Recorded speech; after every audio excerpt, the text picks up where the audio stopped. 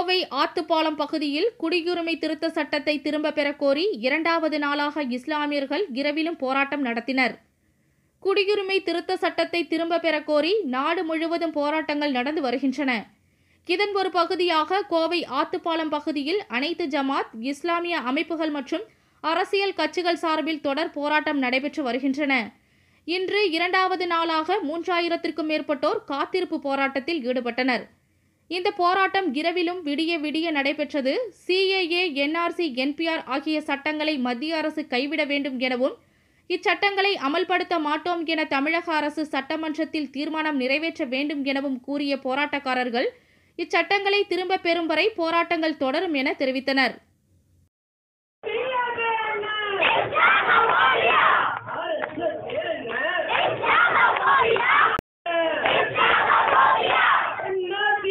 பணியடி எதிர்த்து பணியடி எதிர்த்து நம்மை அடிக்க வந்தால் நம்மை அடிக்க வந்தால்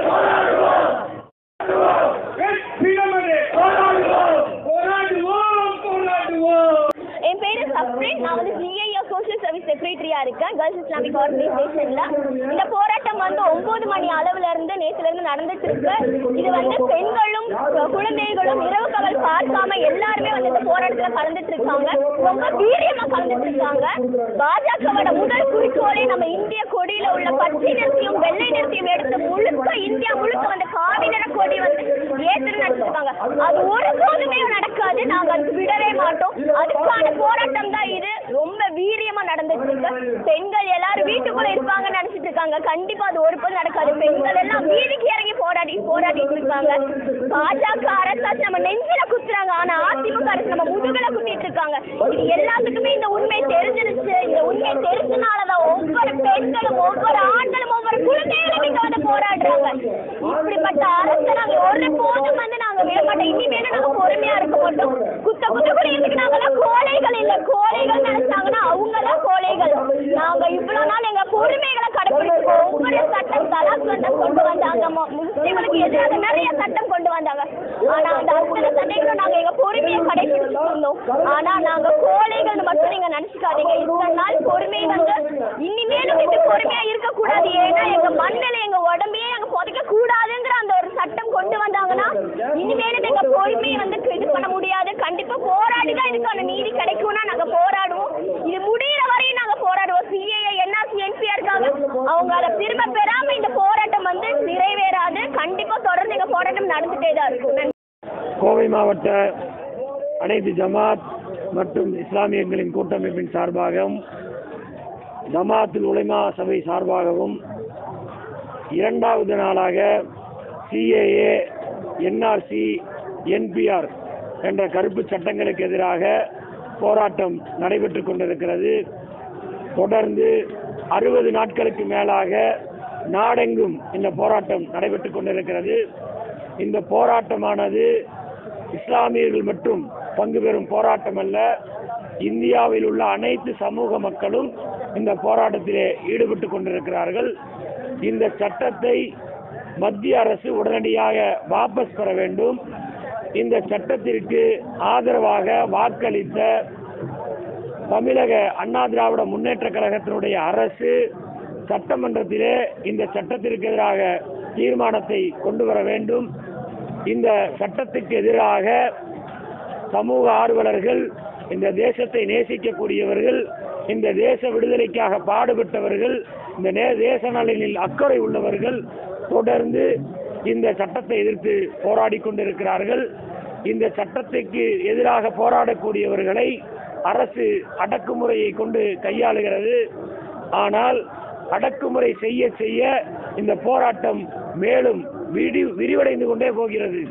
இன்னும் சொல்ல போனால் இந்த நாட்டினுடைய விடுதலைக்காகவும் சுதந்திரக்காகவும் நம்முடைய முன்னோர்கள் வேற்றுமையில் ஒற்றுமையின் அடிப்படையில் பாடுபட்டு இந்த நாட்டிற்கு சுதந்திரத்தை வாங்கி கொடுத்தார்கள். அந்த சுதந்திரத்தை பேணி காக்க வேண்டும்.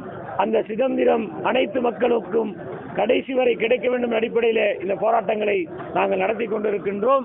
இன்னும் சொல்ல போனால் இந்த போராட்டம் எதை நினைவுபடுத்துகிறது என்றால் அன்று ஆங்கிலேயனை எதிர்த்து இந்த நாடு மிகப்பெரிய ஒரு சுதந்திர போராட்டத்தை முன்னெடுத்தது. அந்த போராட்டத்தை இப்போது நினைவுபடுத்துகிறது. இந்த போராட்டம் எப்போது முடிவுக்கு வரும் அப்படி என்று ஒரு சில கேள்விகள் எழுகின்றன. இந்த நாடு சுதந்திரம் இல்லாமல் அடிமைப்பட்டு கிடந்தபோது பல்லாண்டுகள் இந்த நாட்டினுடைய விடுதலைக்காகவும் சுதந்திரத்துக்காகவும் நம்முடைய முன்னோர்கள் பாடுபட்டார்கள்.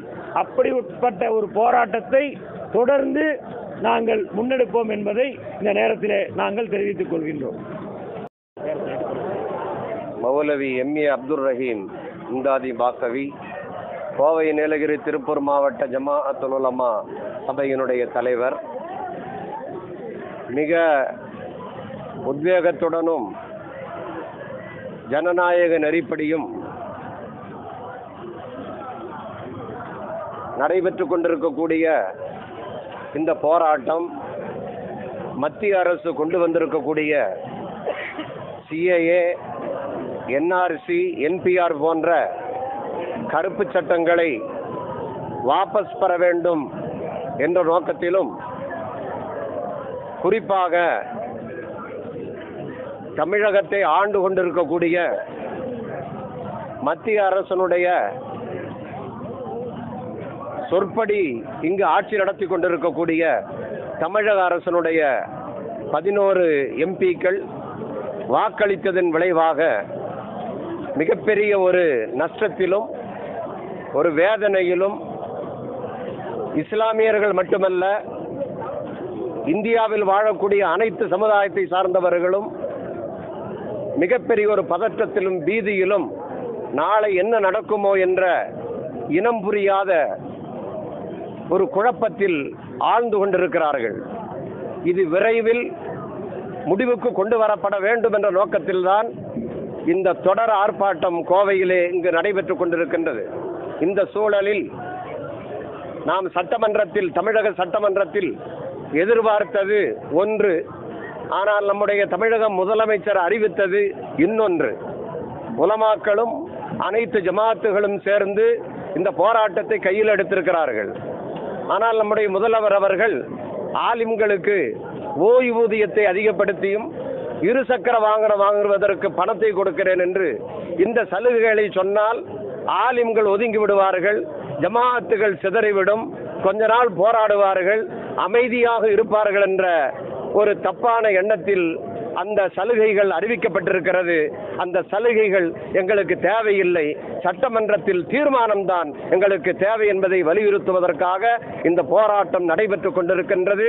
அரசியல் அமைப்பு சட்டப்படியும் காவல்துறையினுடைய வழிகாட்டுதலின்படியும் ஜனநாயக முறைப்படியும் நாங்கள் இங்கு போராட்டத்தை கையில் எடுத்திருக்கின்றோம். இதற்கு வெற்றி கிடைக்க வேண்டும் என்று எதிர்பார்க்கிறோம். இப்போது தமிழக சட்டமன்றத்தில் இதற்கான ஒரு தீர்மானம் கொண்டு வரப்படுகிறதோ இன்ஷா அல்லா அந்த நேரத்தில் இது நிறைவுக்கு வரலாம்.